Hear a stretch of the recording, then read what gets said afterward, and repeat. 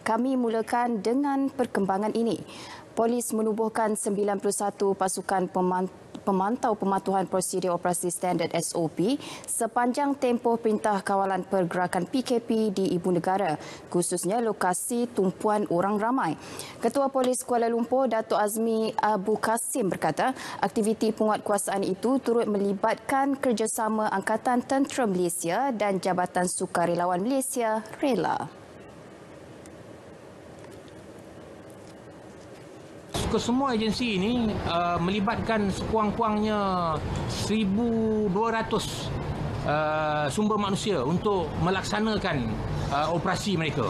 Jadi tujuan utama dia adalah untuk memberi peringatan. Saya sebut tadi lagi dan lagi.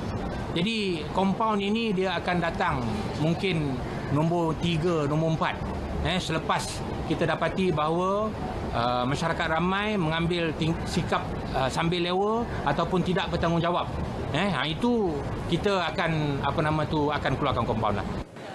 Beliau memaklumkannya selepas meninjau pematuhan SOP PKP di Bazar Aidilfitri, Jalan Tuanku Abdul Rahman, Ibu Negara.